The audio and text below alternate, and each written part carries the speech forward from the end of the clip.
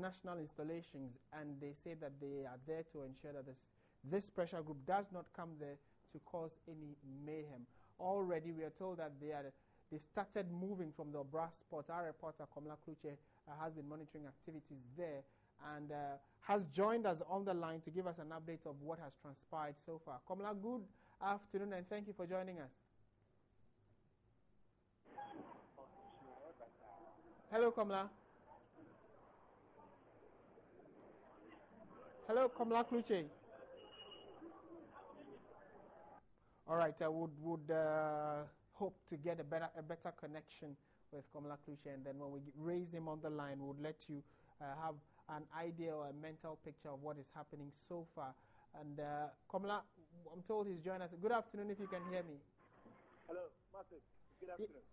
Good. Um, what can you tell us about the picketing or the decision by the pressure group to go ahead despite the police decision to place an injunction on them? Have they moved from the brass spot? Uh, sorry, the line is breaking, but if you're asking for uh, um, an update, so to speak, I can tell you that much anticipated uh, picketing of the Let My Vote Count uh, group to present a petition to the Electoral Commission kick-started a while ago, just about just around 11:30, uh, when when when uh, the protest was actually supposed to have started. Um, somewhere around 7 a.m. But I can tell you the matter, there is disagreement over the final convergence point uh, between the group and the police. Now they are currently at the police station.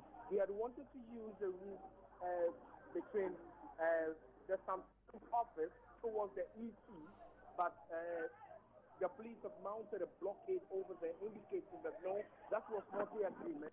We had gone to court, secured an order that right. irrespective of everything, you can go through the all right, but then just a few people, their reps or their leaders, can can walk and go to the electoral commission. We respect that they secure a court order, but a group is, is, is indicating that they will defy the court order and, and, and go ahead and uh, go to the EC in the numbers that are here. Talking about the numbers, uh, I can't count, but most of them uh, are here. Uh, certainly more than about a hundred or so. There are about the, their leaders uh, from Gabby Otchere-Darko to Stephen Ntim to Peter Mac Manu to uh, Chairman Wontumi, and and a couple of them are here. But uh, the confusion only has to do with where their final conversion point will be. They want to go to the EC in their numbers and then present the petition. Martin. Yes, Komla, if you can hear me, do you have police presence around these demonstrators? Police presence, Martin, I, I can say is heavily visible with with uh, the armored vehicles and uh, uh, the tear gas. In terms of personnel, Martin, a lot of them are dotted around us. Irrespective of that, uh, the group have also gotten their own people who are so to speak, private security guys who are leading the group. So I can say for sure that in terms of the police visibility on the ground, there's quite a good number of them. Apart from that, uh, nothing else um, has been reported in terms of any eventuality or anything apart from the disagreement that is ensued between uh, the leaders or the group and the police. Martin. All right, Komla, what were the proposed uh, places of, or what, which areas were the proposed areas they intended stopping or ending the march? Hello, Komla. Hello, Martin.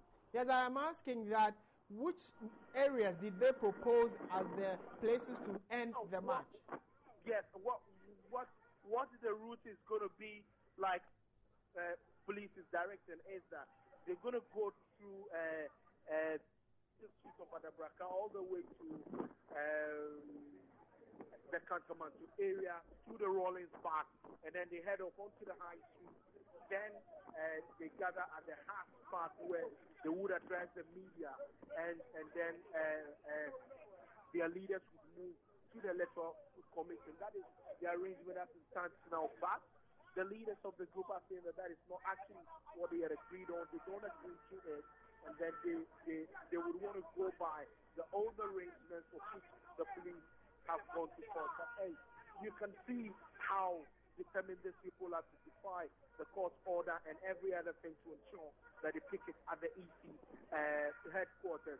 We can also pick up uh, that there's heavy security presence at the EC office as well. The, uh, the uh, riot control vehicle is there as well as uh, heavily armed police uh, men over there as well. Martin.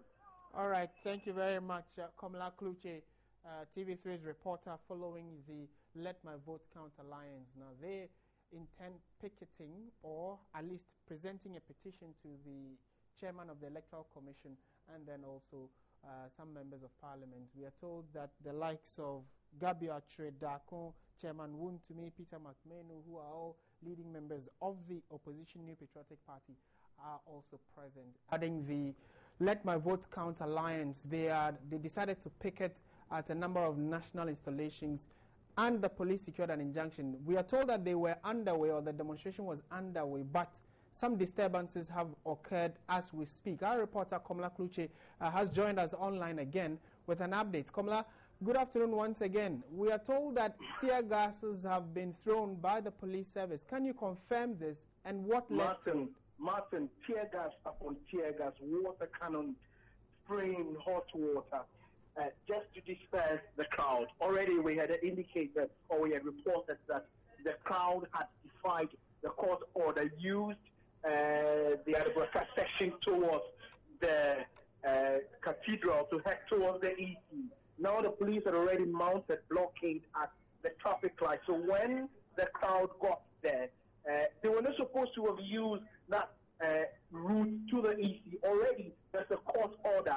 So they were supposed to have gone to Accra towards uh, the Rawlings Park to the Arts Park. But like we did indicate early on, Martin, after they defied, they're heading towards uh, the EC office. And you know, the, the lane between the cathedral and the EC office is just about two minutes or so walk. And the police uh, fired tear gas, water cannons, just to disperse the crowd. Martin, it, it was it was a very very chaotic scene. I've had to hide somewhere just to try and get uh, cover, and then I'll be able to report it as such. Martin, I don't even know where the cameraman is now. Okay, Komla, as, as we speak, what is the situation? Do you still have some members of the crowd around or they've all dispersed? Martin, okay, I've just come outside now. The crowd is is is uh, gone back now. They have they've gone very far, and uh, uh, uh, the police have taken charge of the place. Uh, I'm just saying that some people, one man has just been arrested by two uh, police officers. Okay, another one has also been arrested. So cause of arrest all over the place. Uh, but the crowd has receded back towards the Adabraka main road over there. So it, it, it, it, it's quite a chaotic scene, but it's been brought under control. Okay, I have just seen reinforcements from the police now. Scores of uh, police officers have just arrived in a new plan bath uh, to beef up the security. Martin. All right, uh, thank you very much, Komla Kluche, TV3's reporter, and there will be regular updates of this in our subsequent bulletin.